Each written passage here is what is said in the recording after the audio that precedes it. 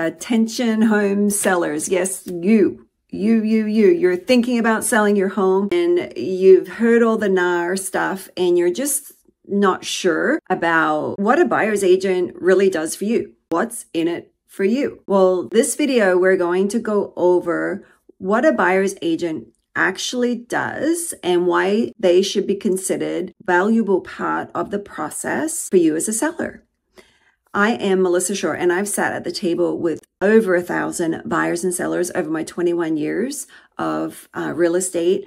And this NAR settlement change has really seen some different mythologies that have come into place. But I can tell you from 21 years of experience how to seclude the best buyer for your property and why you should consider a buyer's agent as a part of your integral process of selling your home. One reason using and inviting a buyer's agent into the selling process allows you to draw the strongest pool of buyers for your property. And the benefit to you is if you can draw in the strongest pool of buyers, that really increases your chance of yielding the best possible terms for you. The second reason is it really minimizes looky loos. So, as a potential seller, you are really looking, I would assume, for qualified buyers. You're not necessarily wanting just neighbors and other people coming through and looking at your home that are not qualified.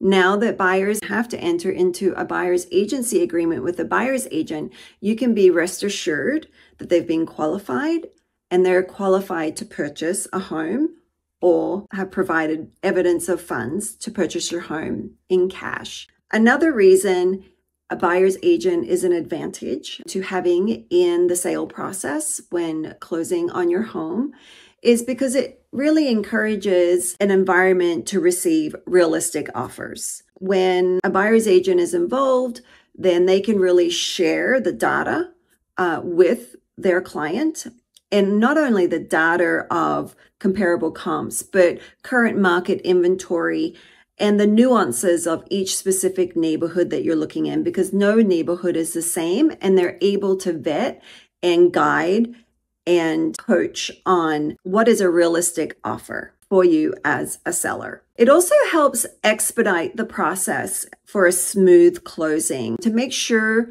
that deadlines are adhered to, that things don't fall through the cracks. So it really provides some certainty to you as a seller. They also recommend professionals. Being a professional in the industry, it's really imperative that you align yourself with other like minded professionals. And due to the standards of care and due diligence and fiduciary duties to the our clients yourself through this process, it's really raised the bar of standards. And the buyer's agent are able to recommend reputable lenders and other contractors that are needed throughout the process to again ensure a smoother closing. Another important factor that you may not have considered is it reduces liability to you as the seller. I know from a firm standpoint and an agent standpoint, my errors and omissions insurance is a lot more expensive if I do dual agency. There's numerous reasons why I don't do dual agency, but this is just one of them.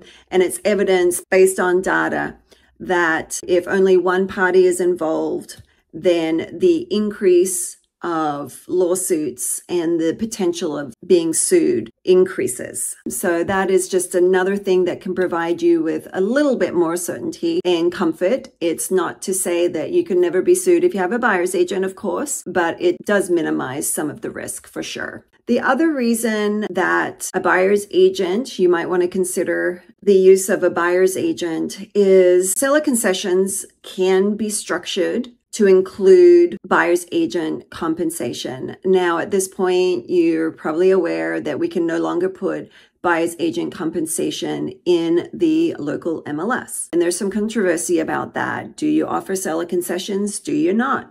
In my opinion, yes, you do, because you structure the asking price based on the buyer's agent compensation included in that net price. And those negotiations can be structured within the offer process. And again, the reason for this is we are in a market right now, and this could change in the future. As of right now, 2024, this could change as we impede even to quarter four, that you want to solicit the biggest pool of buyers for your home, the strongest pool of buyers. How do you do that? You appeal to the most people, you appeal to the most buyers.